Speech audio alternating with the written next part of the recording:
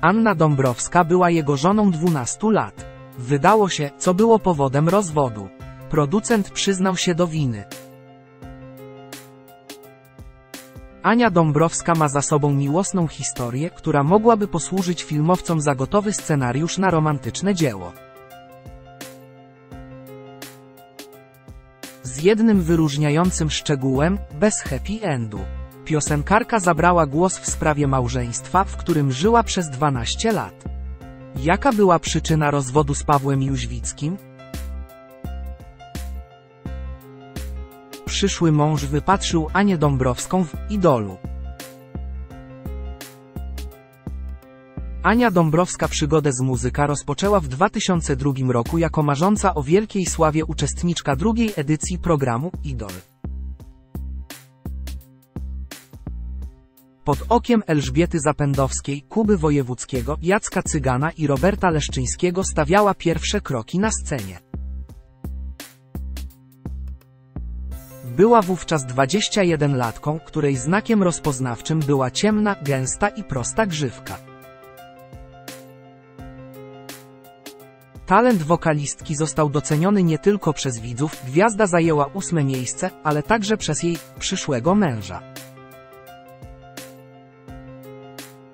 Paweł Jóźwicki długo wspominał dzień, w którym po raz pierwszy zobaczył swoją wybrankę w telewizji. Od razu uległ jej urokowi. Nie widziałem, żeby ktoś tak śpiewał. Oszalałem, bez dwóch zdań. Jakaś dziewczyna w programie telewizyjnym w kiepskiej sukience. A ja siedzę przed telewizorem, czuję, jak mi po plecach płynie rzeka potu. To było bezdyskusyjne, rozprawiał w programie z tymi, co się znają. Jak potoczyły się ich dalsze losy?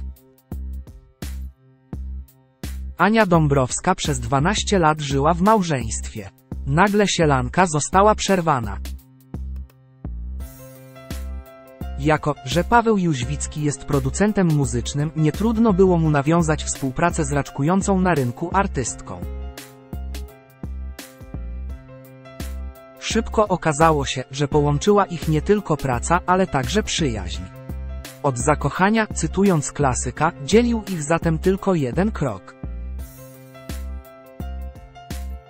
Nastąpił szybko. Para związała się ze sobą na dobre i udawało im się osiągać porozumienie na wszystkich płaszczyznach, nie tylko w muzyce. Owocem tej miłości została dwójka pociech, córka Melania i syn Stanisław. Niestety, rodzinna sielanka przeszła do historii po 12 wspólnych latach. Co na temat rozstania mówią byli małżonkowie? Ania Dąbrowska rozwiodła się z Pawłem Jóźwickim po 12 latach. Dlaczego? Ania Dąbrowska w ostatnim czasie na temat rozpadu związku wypowiada się z dużą ostrożnością.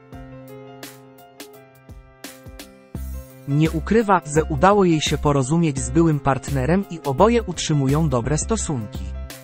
Do zgody zmotywowała ich wspólna troska o dzieci.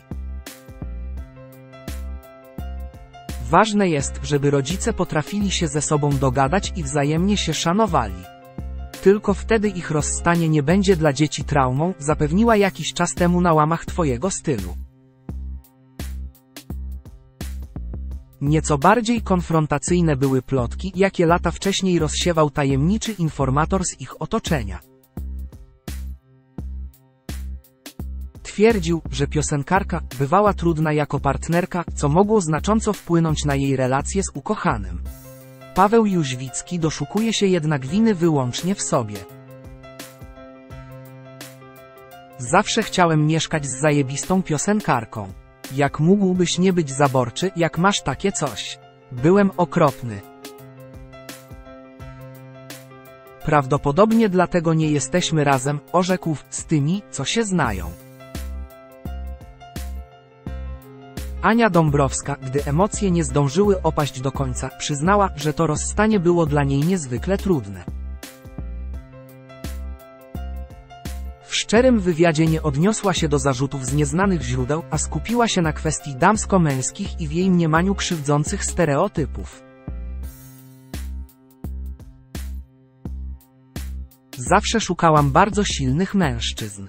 Ulegli faceci szybko zaczynali mnie nudzić. Mężczyźni z wiekiem zaczynają upodabniać się do ojców. Pewnie i mój Stasiek, syn, przyp. Redaktor, z czasem zacznie przypominać tatę. Z byłym partnerem jesteśmy w dobrej komitywie. Pełna zgoda. Każdemu z nas zależy, żeby spędzić jak najwięcej czasu z dziećmi. Życie weryfikuje każdy ideał. Trzeba się sobie przyglądać i brać pod uwagę wszystkie możliwe aspekty, podsumowała w Twoim stylu.